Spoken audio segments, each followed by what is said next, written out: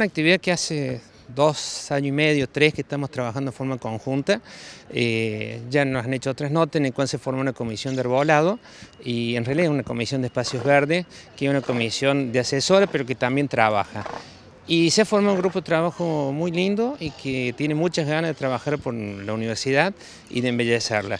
Entonces en este momento estamos trabajando de forma conjunta con docentes de, agronomía, con la gente del vivero y con gente del PEAN y con gente de nuestra intendencia, obviamente, que somos, estamos trabajando en forma forma conjunta y esta es una de las tareas que venimos realizando. Además, se ha hecho ya un curso de poda, se ha hecho participación también de todo este grupo que se está trabajando en otras tareas y próximamente tenemos distintas actividades que ya están programadas y para el, estamos trabajando el 15 de septiembre y el 20 y algo de septiembre, no recuerdo la fecha, 23 creo que es, eh, se va a trabajar también en forma conjunta, que va a ser un, de la cátedra de agronomía, se va a hacer un práctico y lo vamos a trabajar en forma conjunta para hacer unas cortinas de viento tanto en las canchas de fútbol como en las canchas, como en la pista de atletismo y la cancha de fútbol que está en la parte más del bajo.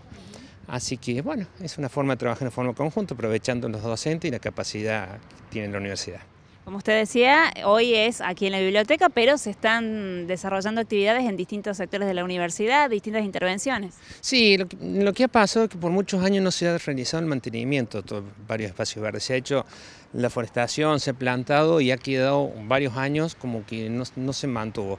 Y las plantas han tomado dimensiones eh, propias de las plantas, pero no fueron eh, manejadas para que tomaran la forma que uno quería y la ubicación que quiere y la limpieza que, que requiere. Entonces, bueno, se está trabajando, estamos tomando distintos sectores y trabajamos sobre sectores en particular. Una vez que terminamos el sector, pasamos al otro. En lugar de abarcar todo y, y hacer un poquito de qué cosa, no, estamos trabajando en forma conjunta por sector.